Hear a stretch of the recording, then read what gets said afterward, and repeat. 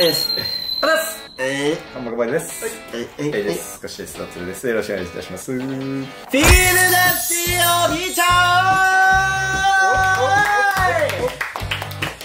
おうということでやってまいりました。ライブ視聴会第2弾でございます。つい先日ねライドオンタイムということで起用している裏側を。はい。ああそうだそうだそうだそうだ。そうだそうだ。今回はねそれを踏まえてですねライブ見ちゃおうということでコメントでもたくさんねおすすめされたので今回見ていきたいなと思います。はいです。はいそれでは早速見ていきましょう。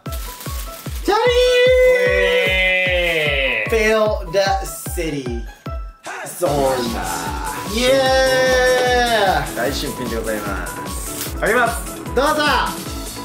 バカリバカすごいじゃん。青と黄色ズリくんカラーとコーチくんカラーでございます。皆さんもご存知の通りだと思いますがそして今回はリバカリバカリこれですね。うわーかっけーこれ。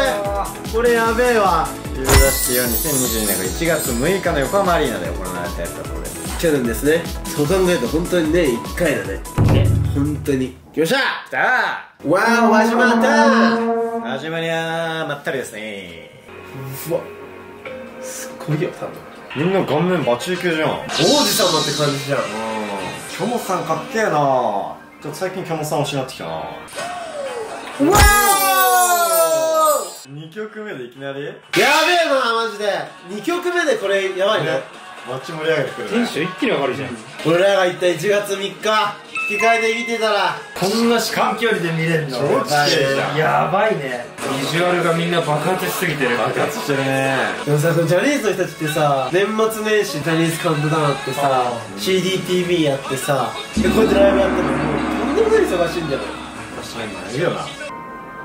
おおいいんですか？聞いちゃって。うわすげえ。世界観いいな。うわ激がかかったよ今。そうだ今回のあのドームの時のジュリ君のちょっと足元を僕は写真で見ちゃったんですよ。あれティンバーの赤を描いてるんですよ。えティンバーの赤だったら俺持ってるなと思って。ー同じやんあれこれって言っちゃっ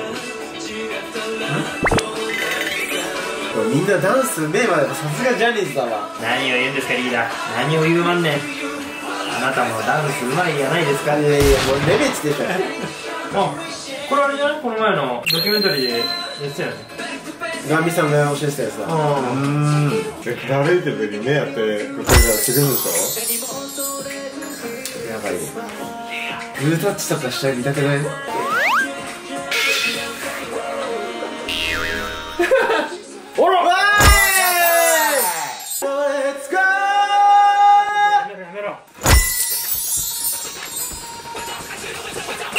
来ますよ。来るよ。ょあー来るよ。来るよラッタッタララッタッタッタ。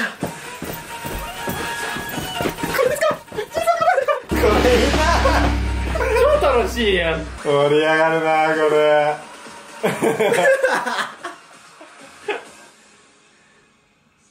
すいませんなん。だ恐れ多いなねよコーチ君おもろマジでめっちゃ可愛い顔。やっそうかみたいな顔。じゃあ一緒にこのまま後半え？引き続き盛り上がりましょう。いくよ。俺の急に変わってない、カットされた？バッサリ勝っためちゃくちゃバッサリしてるじゃんえ？え？ー、聞かせたよ気になるね。長くても聞かせたよバッサリカットされるのが DVD じゃないんだおもろすぎんだ えー、だって真逆かステージと。すげえ一番端っこの人嬉しいね。まさかだよね。ありがてえこれは。すげえこんな近いんだ。近いえだってこの距離ってことコシとそうだよ。慎太郎君絶対カメラ見つけるのがうまいんだよ毎回カメラ出そうだよ 最高の6人だから マジで。そうだね。全てのバランスがいいよね。今ぼやっとしたじゃん、あれ二人ともコンタクト好きなんだけどあんな感じ？まあ確かにそうだね。もうずっとこれねえつらっ！だってこのコッシュの顔ですら若干。二重に見えるみたいな。マジ？これ裸眼で俺がこれ見える距離ね。ここでここでピント合うなんだよだってこれ人かどうかも判断できない。できない。普通に色鉛筆置いてあるから。普通に。あああ DVD か。これこれ船に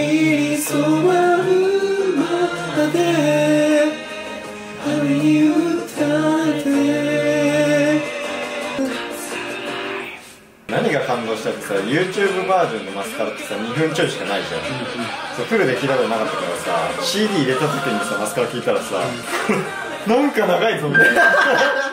なんかこんなパートあっててみたいな。これが真のマスカラかと思って。うわすげえな。やっぱ歌って踊れるってかっけえわ。何を言うてまんねんうちのリーダー歌いますやん。いやいやもうこれ踊れますやん。何万人の前でだよ 噛み締めよう。ライブをもう来年だから。来年外したら再来年ですよ。マジで俺本当大阪とかもう全部申し込む全国応募だな。うわー。はいどうもね宮ました。あ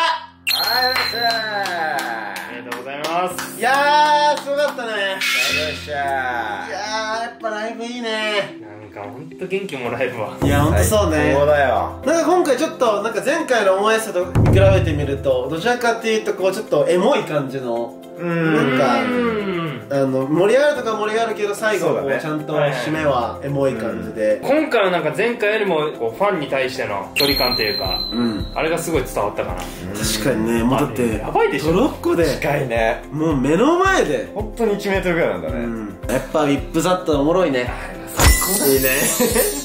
フィールドシーのイップだったら素晴らしいですね。でもまた違う公演で見たらどういう感じなんだろうね。うんそれも気になるよね。いろいろパターンがあるから面白いね、うん。同じ曲やってても。で俺今回のライブで一番ちょっと推しだったのはコーチくんかな。ああそそうなんねか良かったね。やっちまってる時のガチ感がすごいよな。やっぱコーチくんが言ってたね。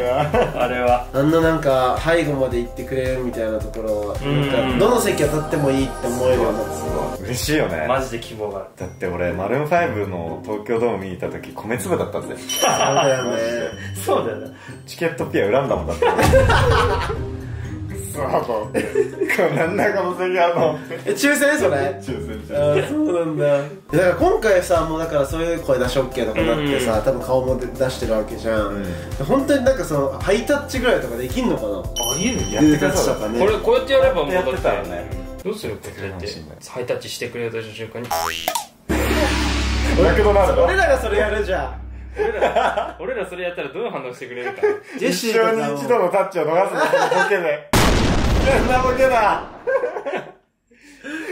捨て身だやってみたよね逆に。絶対覚えてくれる逆に。ジェシー君二度見すんじゃない？大爆笑してくれそうだよね。あとやっぱうちは大事だね。あそうだね。何々してみたいななんか大事だ打ってとかあったもんね。大事だ。意外とでももしかしたらうちは自分の顔にしてみたら面白いんじ